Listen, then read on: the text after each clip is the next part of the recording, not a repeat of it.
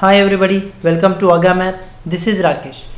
Today's question: If cosecant A equals to if cosecant A equals to root 10, find secant A and cot A.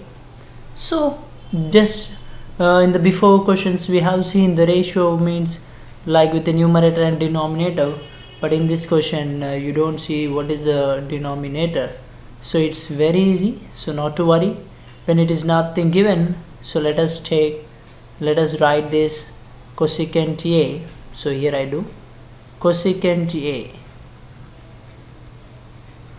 Cosecant A equals to root 10 by 1 so it is under root 10 by 1 so let us so uh, let me take the name this triangle which is a right angle triangle so A and here the angle B I take and here I take C. So right angle is at B I have taken.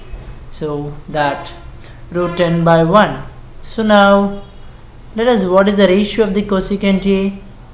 What is a cosecant A? It is a reciprocal of sine A. So sine A is what? Opposite by hypotenuse. So here hypotenuse by opposite.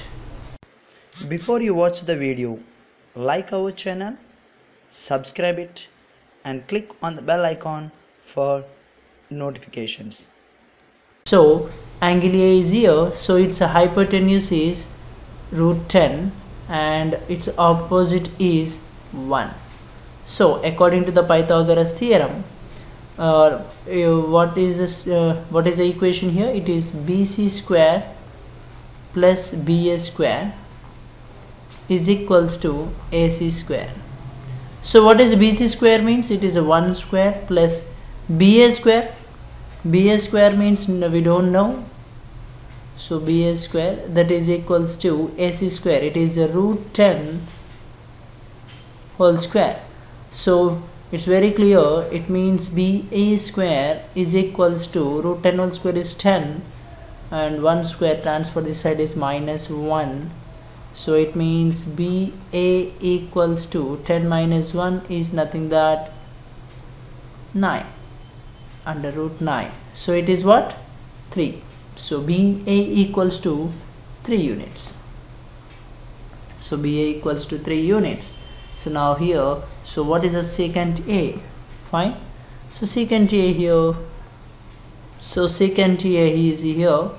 Here that is a secant A.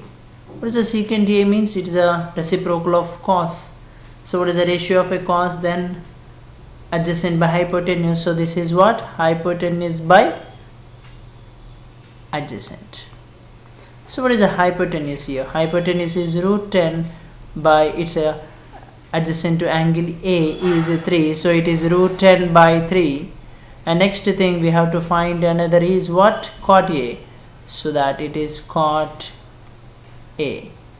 So what is a cot A here? Cot A is nothing that it's a reciprocal of tan. So what is a tan? Opposite by adjacent. That it means it is adjacent by opposite. So that is what is adjacent to this is 3 and its uh, opposite is 1 so it is nothing that 3 so this is a these are the ratios where we have to find that is secant A equals to root 10 by 3 and the cot A equals to 3 units. So the ratio is 3 by 1, it's nothing that 3. So here we have another question. If tan A equals to 1 then find tan C.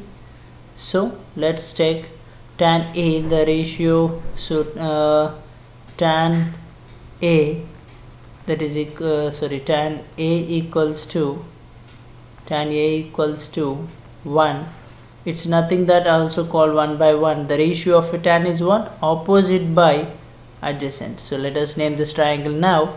So that is a b c.